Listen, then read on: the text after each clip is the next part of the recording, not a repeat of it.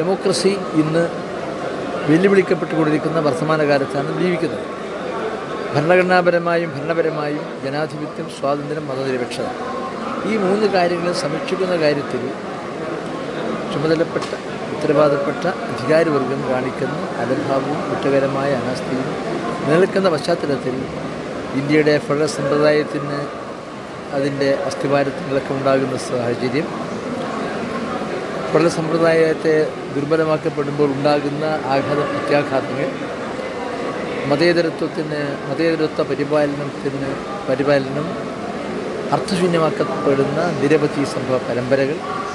അങ്ങനെ വർത്തമാനകാലത്ത് ഈ ഹിസ്റ്ററിയൽ ഡെമോക്രസിയിലൂടെ ലോകത്തിലെ ഏറ്റവും വലിയ ജനാധിപത്യ രാജ്യമായ ഭാരതത്തിന്റെ ജനാധിപത്യ ബോധം ഉദ്ഗാനം ചെയ്യാനും ഒരു കാലത്ത് ജനാധിപത്യത്തിന്റെ ശ്രീ ശ്രീകോവിലായി അറിയപ്പെടുന്ന ഈ രാജ്യത്തിന്റെ പ്രവർത്തനങ്ങൾ പരീക്ഷിക്കാൻ കഴിയുന്ന വിചാരപരവും അതുപോലെ പ്രായോഗികമായ ചിന്തകൾക്കും കാഴ്ചപ്പാടുകൾക്കും അഭിപ്രായങ്ങൾക്കും കരുത്തു കൂട്ടാൻ തീർച്ചയായും ഈ ഫെസ്റ്റിവൽ മുഖ്യസ്ഥ സാധിക്കും എന്നാണ് ഞങ്ങളുടെ വിനീതമായ വിശ്വാസം.